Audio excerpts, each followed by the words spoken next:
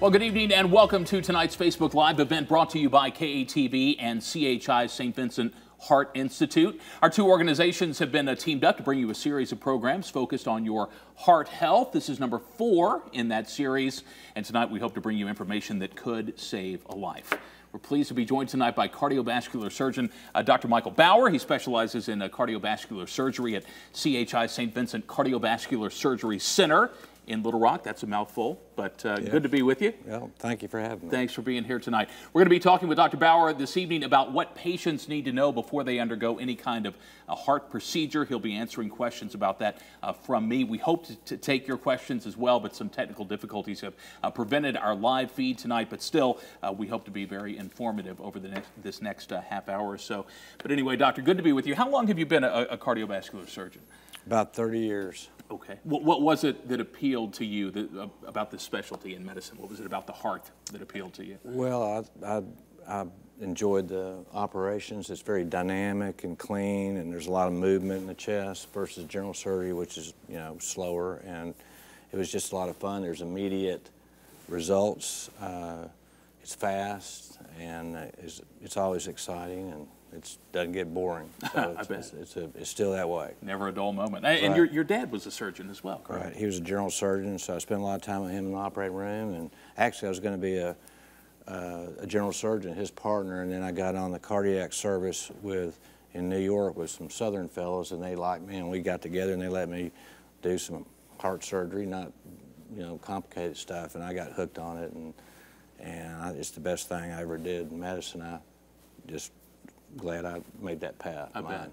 Yeah. And, and, it's a generational thing. Your son yeah. is in practice with you now as well. My right? son swore he'd never be a doctor, and he swore he'd never be a surgeon, and he said, I'm for sure never going to be a heart surgeon. Now he is, and it's great to have him. He's been in practice two years, and he's uh, he heads up our ECMO and left heart assist program at St. Vincent's, Fantastic. and he does regular heart surgery, but that's his his main gig. I know any father out there can, can feel the pride that you have in that. Uh, a rough estimate of the number of heart procedures that you've performed over the years. Any idea? Oh, uh, between, I don't know, 10 and 15,000. Wow, that's incredible. Three today, in fact, you said. Well, three operations. They weren't, one was a heart operation. Oh, okay. was, Fantastic. Yeah. So uh, what has a patient typically experienced by the time they present to you for, for surgery? Usually before they come to us, um, they are diagnosed by a cardiologist with whatever they have, either coronary artery disease, they have a heart cath and have blocks, blockages, and a decision made how to treat them, either with a stent or medical management, or if they need heart surgery, they get sent to the heart surgeon, and we talk about that. Uh, sometimes they'll come from their family doctors to hear a murmur. Uh, but usually they they go through the track of a cardiologist first, and okay. then the cardiologist uh, sends them to us. Is there typically, uh, in your experience, more uh, of an urgency for someone who is experiencing some kind of cardiac problem versus maybe uh, uh, some other malady that, that they would present to their doctor? Well, yeah. And, and is that justified?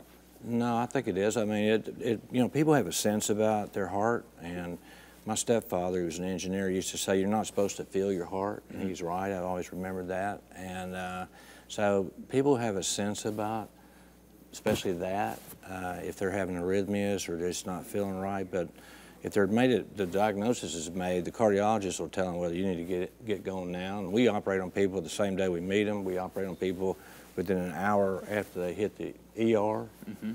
uh, so it just depends on the acuity of it. Right. Right. Well, walk us through that process of, of how you first meet a patient. What what happens? So what will usually happen if it's a if it's the elective case, that means they have an opportunity to come to the office, bring their family, they fill out a form, they meet with my uh, first nurse that goes through that, and then they come to the exam room and we sit and we talk and go through their form and their history and then uh, do an exam and then we visit about the operation and, and try to tell them exactly what it's going to be and Sometimes I'll draw them a picture, usually if it's valve or show them their graphs. Sometimes I'll even show them their films. It, it's very impressive when they actually see their films, uh, their car cardiac cath or their echo. It's like, you know, wow, I, have got this problem and, you know, I need to get it fixed. So it's, it puts it real for them. And then after that, we'll schedule them for their operation and they come in and they have it. Okay. Uh, you obviously uh, do this a lot, but, but for a patient, it's got to be new. So I know that there are questions that it's important that patients ask their doctor. Can, can you walk us through what, what are kind of the most important questions that people need to ask? Well, you know, um, if I was going to have an operation, knowing what I know, a heart operation, the first thing I'd want to know is my diagnosis correct. Mm-hmm. Okay. And then if, if, and it should be, okay, doesn't mean it always is. The second thing I'd want to know if I'm talking to surgeon is do I absolutely have to have an operation? Right. Uh, and what's the, what's the alternative to that operation if I don't have an operation, then what's going to happen to me? And uh, that's critical to feeling like you're doing the right thing because it's a big, uh, obviously a big deal. I mean, having your chest opened up and anesthesia and getting over it and the, the dis disruption of your life for a while, and it's scary. So uh, I would be sure I was, my diagnosis was correct. I'd be sure that the surgeon was adept at the operation. You know, it's not like, uh, I always think about it's kind of funny when you get on an airplane, you don't get to interview the pilot, you just hope he can fly. That's right. And get you where you're supposed to go. But when it comes to picking your surgeon or heart surgeon, you have an opportunity to, to actually shop around and, and get, get a chance to interview your surgeon, um, as well as him getting to examine you. So it's a, it's a it, you should look around and know your stuff. You get on the internet, there's so much information now. Right.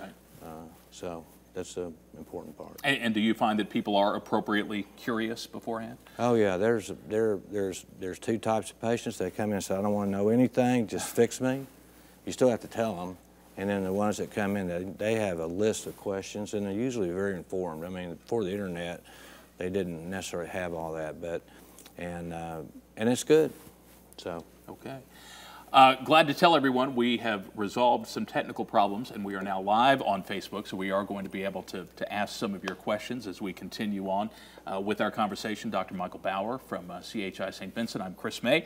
Um, determining if a surgery is right for a patient with a heart condition, how do you, how do you make that determination?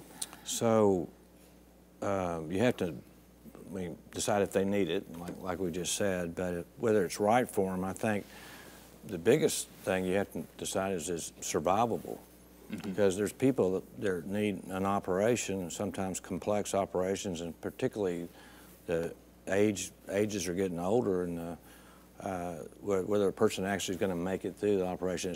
I usually say, you know, you can you can fix the motor, but you don't want to wreck the car while you're doing it, and that's right. Some people just can't get through an operation. So that's a big part of figuring out if the operation is right for them. Then there's just, there a lot of times it's just clear cut. You just, it's not a, hard to decide. And they, they know they need it. What are the most common types of procedures that, that you perform at, at St. So, Vincent? so it used to be bypass operations. So I did about a third of my operations are bypass now, but the other two thirds are usually valve operations, minimally invasive operations, uh, comp, you know, valve and bypass operation. So we just about do everything at St. Vincent's. Our group can pretty much do anything um, that is needed.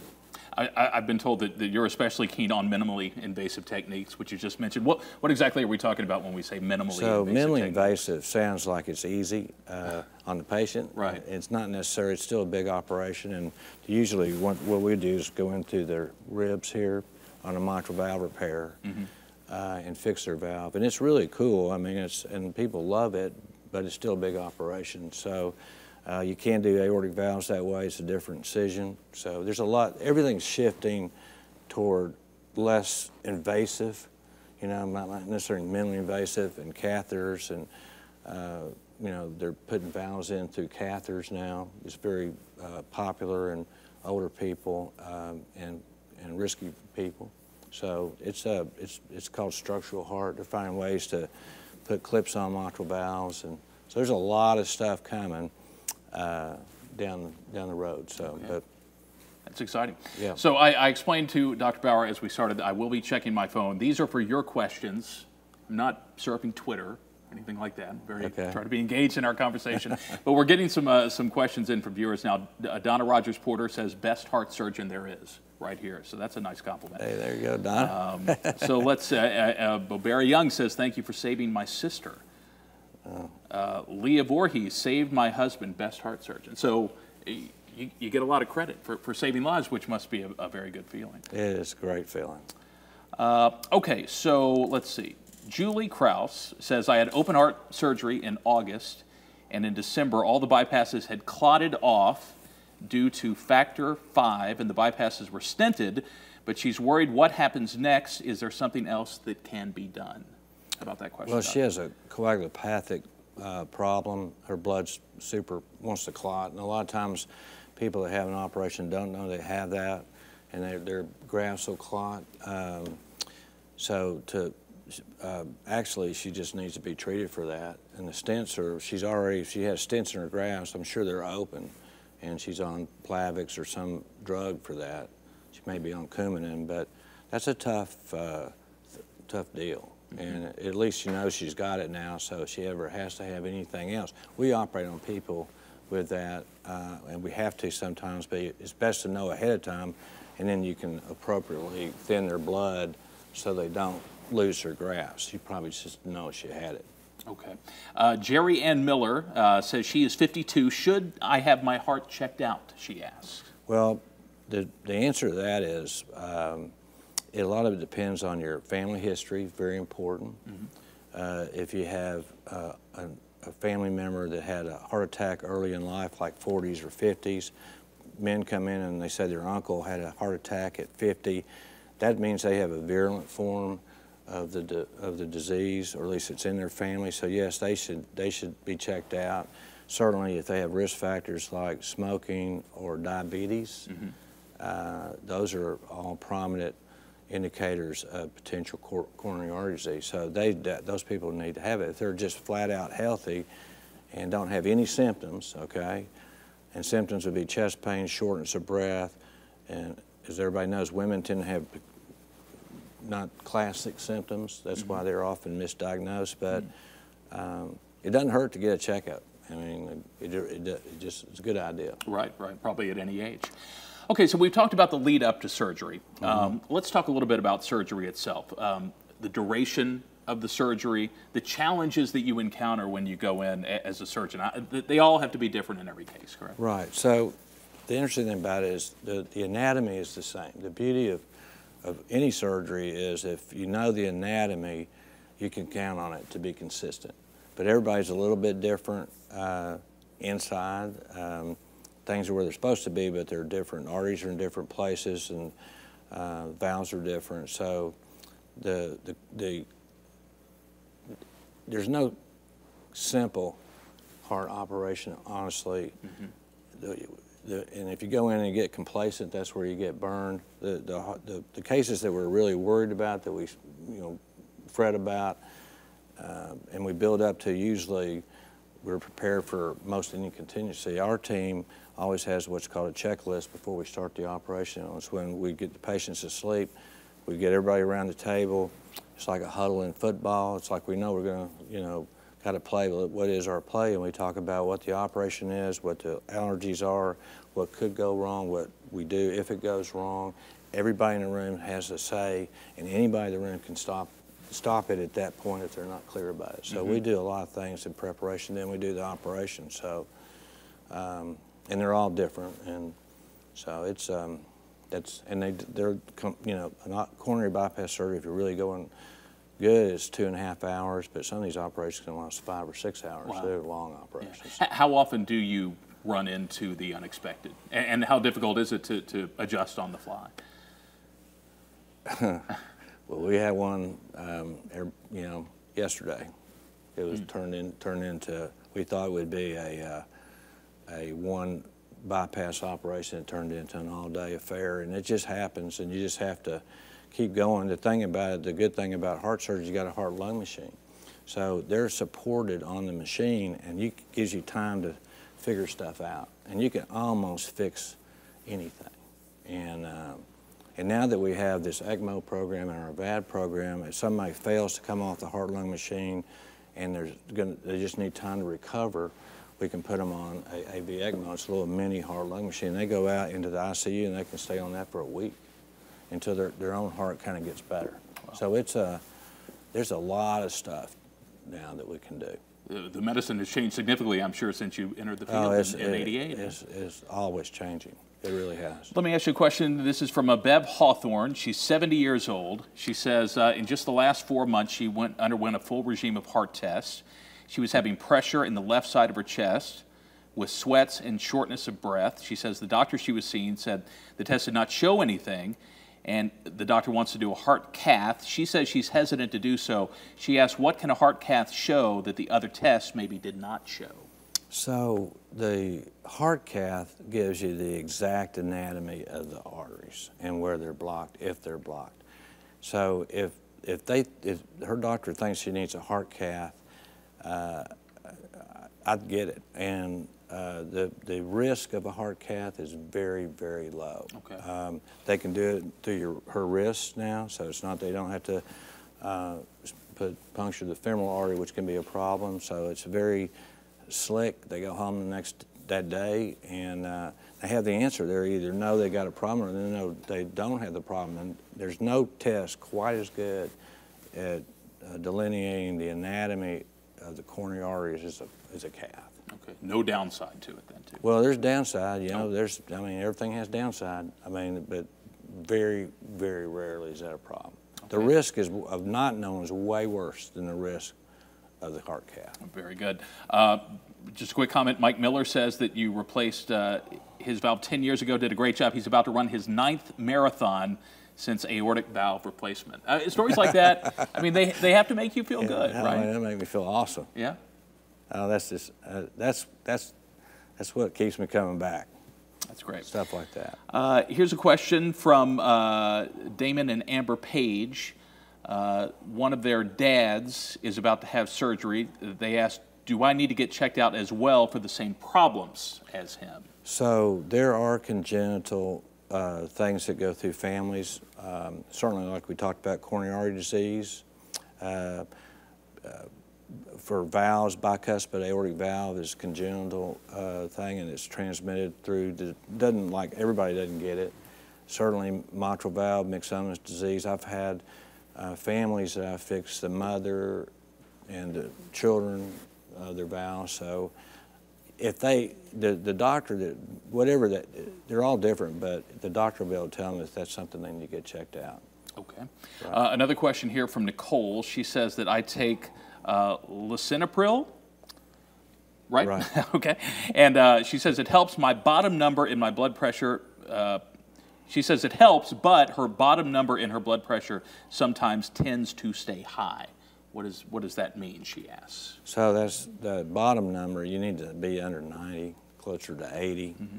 Uh, that's just that's an important number to have, and so it, she may need either more lisinopril or another drug.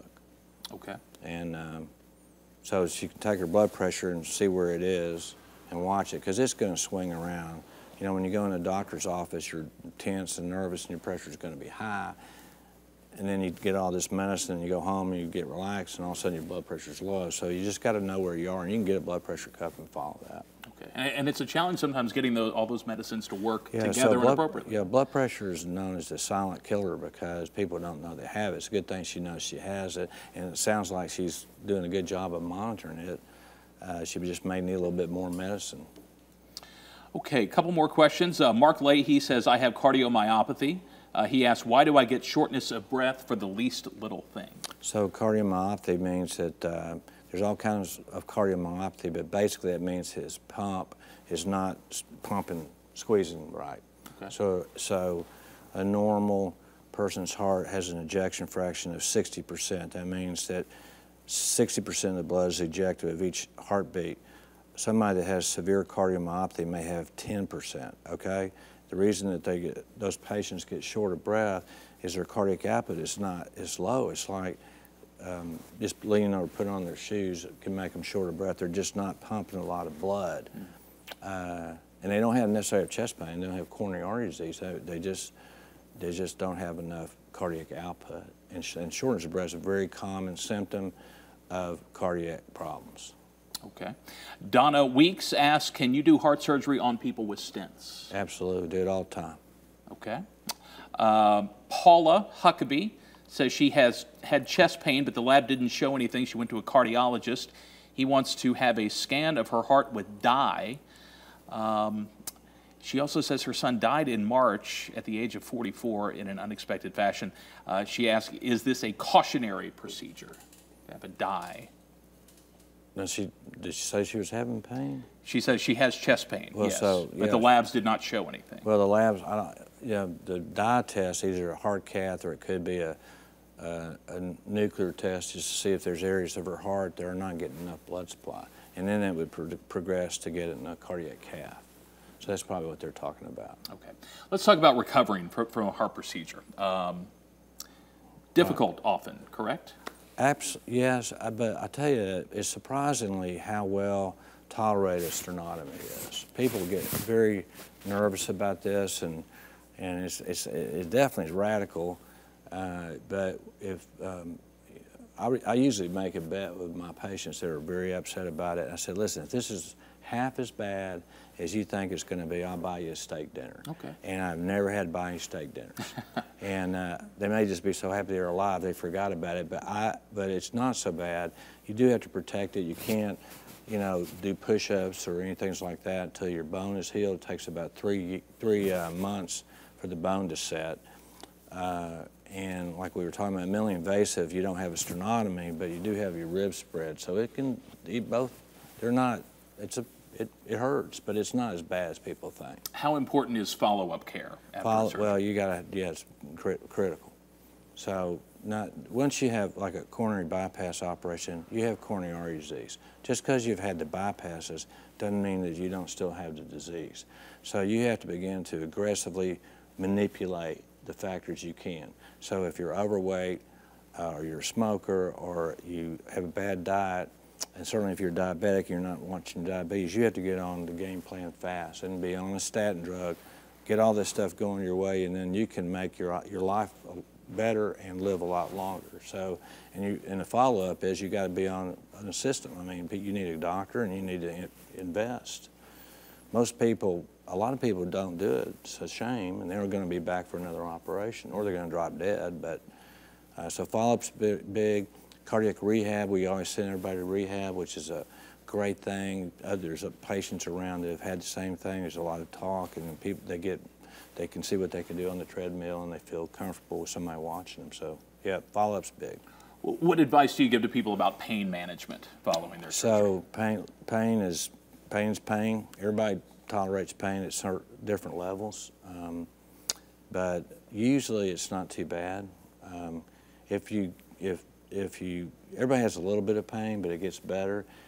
The problem you have to worry about if your pain gets almost gone and then it starts coming back in your chest or some other problem, then that's a real problem. You need to talk to your doctor about because that may mean something's not going right. You have complication. You mentioned earlier that just about anything could be fixed. Um, here's a question: Does angioplasty and stenting or bypass surgery fix a heart? So it, yeah, it fixes the heart, the problem by rerouting blood or directing blood to the muscle that needs the blood, but it doesn't correct the disease. And that's done by the, you know, like what I was saying. And people who just have coronary disease, they're not going to get rid of it. There's no pill to take to get rid of coronary disease, but you can slow it down. Uh, does surgery mean that a person can't return to an active lifestyle? Doesn't mean that if they're if they go in with a good heart muscle, good motor, and they get a good operation and they don't have a problem with their operation, then once they heal, they can do anything they want to do. Yeah, return to an active lifestyle. Right. Let's see. Uh, we have a question from Angie uh, and David Lair. Uh, my blood pressure had been staying really low, around 90 over 50. What can someone do to raise that? Raise blood pressure?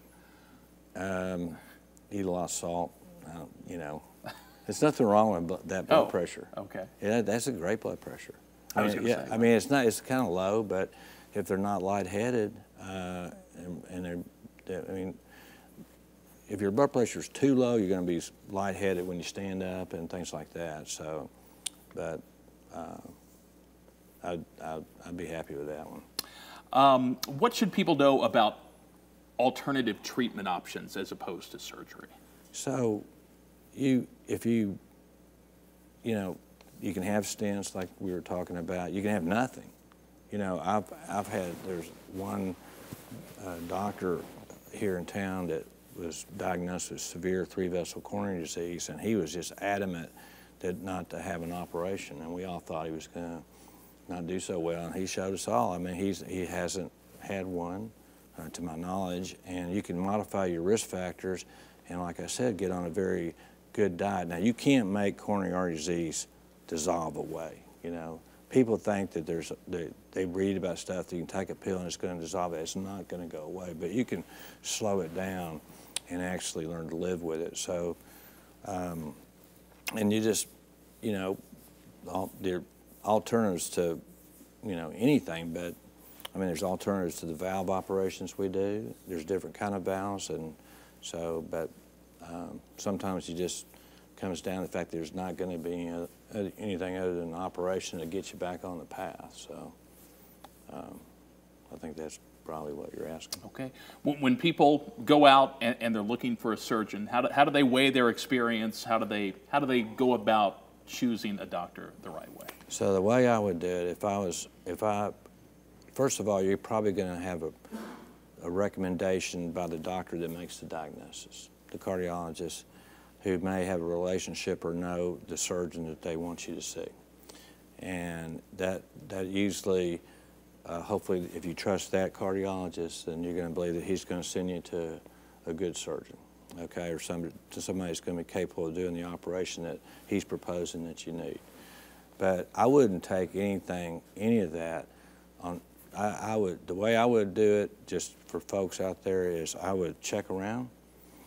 Usually you have a nurse friend that works in a hospital that you're going to go to, and the nurses know who the good doctors are, and they'll usually find that out or they'll ask around, and then, you, like I said, you'll have your chance to interview your surgeon, and you're going to get a feel about whether you can trust him, and you need to ask him directly how many he's done, and don't be shy asking what his mortality is. And like, I mean, you're interviewing him. After all, he's going to have your, your life in his hands, and you have every right to have, ask any question about his experience uh, that you want. Okay. I was going to end it with that, but then um, we had Colin Cott, uh, Cottingham weigh in with the question, does red wine bother the heart? So we will, we will end it with a question about red wine. Red wine is good for your heart. It's good for the heart. I mean, not a gallon of red wine, but you know. Everything in moderation, yeah, correct? That's right. All right. Doctor, thanks so much for being here. Time. Dr. Thank Mike you. Bauer, uh, yeah. we know you may have even more questions. We appreciate all the questions you have uh, sent in tonight, but they can answer all the questions you have at CHI St. Vincent Heart Institute. You can find information about them uh, on the web at chistvincent.com slash heart and on Facebook and Twitter at CHI St. Vincent. We thank you so much for being with us tonight for this Facebook Live event. We uh, thank you for being patient with us as we worked out our technical difficulties. We thank you for all your questions as well. Uh, this has been a KATV production uh, here on Facebook Live. Good night.